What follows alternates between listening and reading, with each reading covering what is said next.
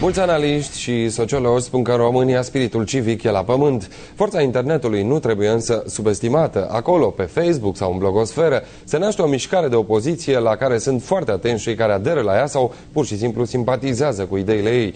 La fel de atenți sunt și cei pe care îi îngrijorează amploarea pe care această mișcare o poate căpăta într-o bună zi. Mișcarea Violet a apărut întâi în Italia, pe Facebook. Sunt peste 2000 de violeți în România, iar la Mișcarea Violet s-au afiliat peste 200 de bloguri. În ciuda efervescenței de idei ale celor care contestă în fața computerului felul în care e guvernată acum România, odată ieșită în stradă, mișcarea e încă timidă. Și la marele meeting de pe 19 mai au fost violeții. E și datoria noastră, ca inițiatori ai acestei campanii în România, să fim alături de ei și să susținem uh, doleanțele lor. Care este obiectivul lor?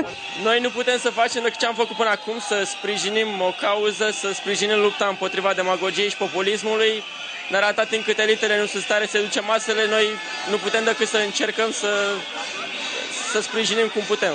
În primul rând am organizat uh, o mișcare No Băsescu Day, s-a numit pe 2 aprilie, mișcarea Violet, cum mi-a spus uh, Lilic, uh, am încercat să adunăm mai mulți. adevărat, s-au intimidat foarte mulți când a început uh, poliția să ne legitimeze. Nici eu nu sunt membru de partid, nici foarte mulți din cei care simpatizează cu ideea liberală ca și ideologie. Precizare, mișcarea nu are absolut nicio legătură cu Mircea Joană, cu Viorel Hrebenciuc sau cu Aliodor Manolea, nici cu flacăra violetă. Blogării italieni au ales culoarea violet deoarece e o culoare independentă de partide. Conducătorii, din păcate, se consideră stăpânii tuturor și a tot știutori. Din păcate, la noi, la români, e problema că ne trezim întotdeauna atunci când ne ajunge cuțitul la os și nu înainte. E bine și în ultimul ceas. Nu e bine nici cum uh, gândesc unii resemnarea aceasta nimeni nu mai este bun și nimeni nu mai poate face nimic.